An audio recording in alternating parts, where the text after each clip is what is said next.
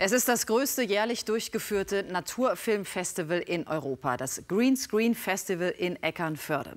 Mittlerweile ein internationaler Treffpunkt der Naturfilmer und für die Filmemacher die perfekte Möglichkeit, mit dem Publikum in Kontakt zu kommen. Hier entscheidet also nicht die Quote über den Erfolg, sondern der Applaus.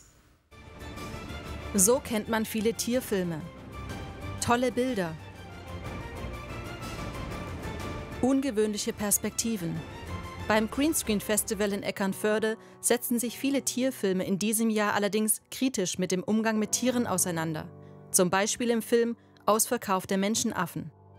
Die Problematik ist die, die wir voraussehen konnten. Das heißt, es gibt Schimpansen, die sind zum Verkauf da, es hat sich nichts geändert. Und wenn da nichts passiert und die zwei wieder exportiert werden, dann heißt das, dass wir nichts erreichen, dass wir die Handhabe nicht haben, da was zu ändern.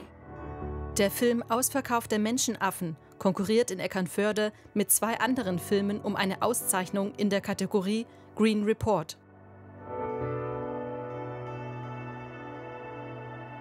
Man führt die Menschen mit diesen Filmen, mit diesen kritischen Filmen schon in eine Richtung, die sie vorher nicht kannten. Und äh, dann möchten die auch gerne aktiv werden. Das Gefühl haben wir. Wir haben sehr aktive Zuschauer, also die nicht nur gucken, sondern auch reden und was tun wollen.